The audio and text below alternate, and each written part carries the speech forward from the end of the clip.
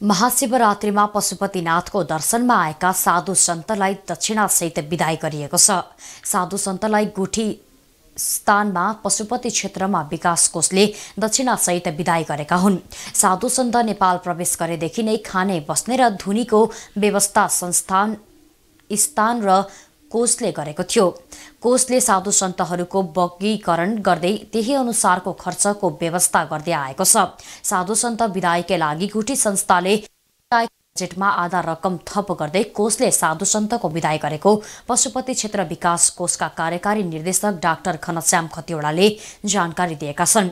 यस वर्ष पाँच हजारको हाराहारीमा साधु सन्तहरू पशुपतिनाथमा आएको उनले बताएका छन्। कतिपय साधु सन्तहरू हिजो बेलुका नै यहाँबाट निवर्तन भइसक्नु भएको छ गइसक्नु भएको छ। कतिपय आज बिहानै गइसक्नु भएको छ। गुठी संस्थानले आज बिहान मात्रै पर्ची बाँडेर साधु साधु सन्तहरूको सङ्ख्या गणना गरिसकेपछि हामीले औपचारिक विदाय गर्ने गरेका छौँ।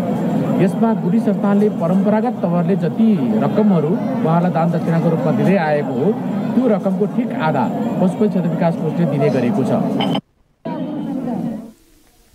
महाशिवरात्रिका लागि विभिन्न स्थानबाट आएका साधु सन्तलाई फागुन कृष्ण औँसीका दिन दक्षिणासहित विदाय गर्ने प्राचीन परम्परा रहेको जनाइएको छ।